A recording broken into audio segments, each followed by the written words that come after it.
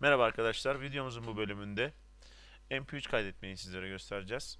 Çaldığımız ritim ve sesleri aynı anda MP3 olarak kaydedebiliyoruz.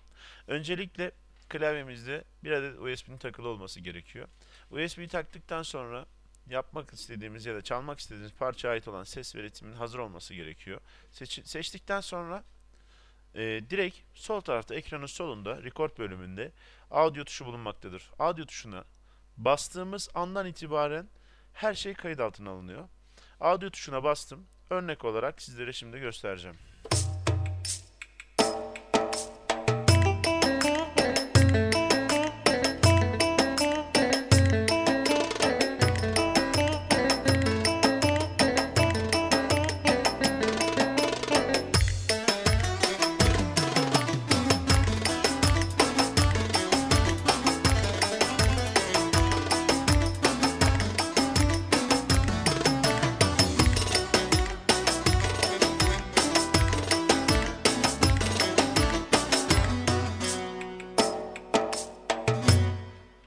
Ardından MP3'ü durdurmak için, MP3 kaydını durdurmak için audio tuşuna tekrar basmam yeterli.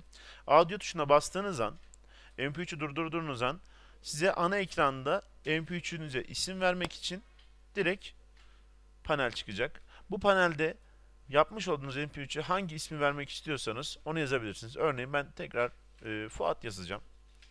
Fuat yazdıktan sonra OK'ye bastığım zaman direkt MP3'ümüzü kaydetti. MP3'ümüzü tekrar geri çaldırmak için Song'a geliyoruz ve Song'da tekrar e, yazılı olan ismin üzerine dokunduğumuz zaman sizleri direkt kaydettiğiniz MP3'e yönlendiriyor. Şimdi az önce kaydetmiş olduğum MP3 Fuat DNT'ydi. DNT'ye dokunduğum zaman burada play'e yani ritmi başlatma, start stop'a bastığım zaman direkt MP3'ünüz çalmaya başlayacaktır.